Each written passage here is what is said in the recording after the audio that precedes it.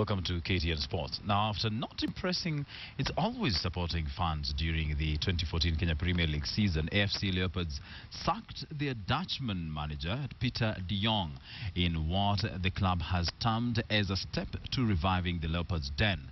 But as Moses Wakhisi now reports, Ingwe players know it, uh, knows it all too well, what it means to go without pay for a period of three months.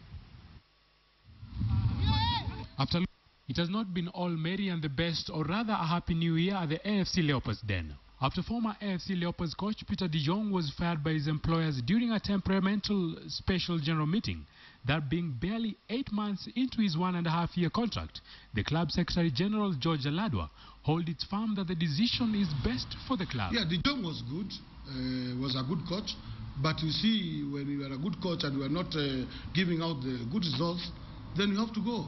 When you contract a coach, it's his duty to make sure he gets the results for the fans. So it's not our fault.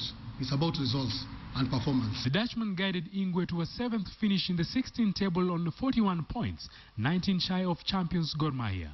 His sacking follows that of his deputy Juma Abdallah and goalkeeping trainer Washington Muhanji. In that period, however, according to the club secretary general, their house was never in order. There was a very big mix-up in playing unit uh, of FC Leopards and the coach because he came mid-season and that one uh, did go well with our players and with the technical bench.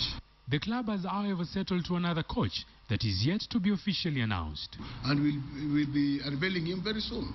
But for now I cannot give you the name. But we have a new coach. That one I can confirm.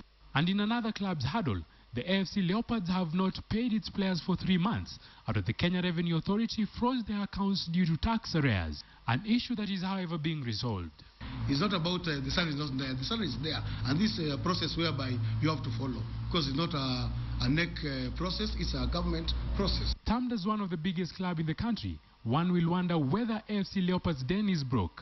Yeah. No, no, no, no, no. We're not broke. You see, we have a sponsor and our sponsor is Mumias. And we thank the sponsor because last year they knew they, they gave us three years sponsorship. That's ending in uh, 2016.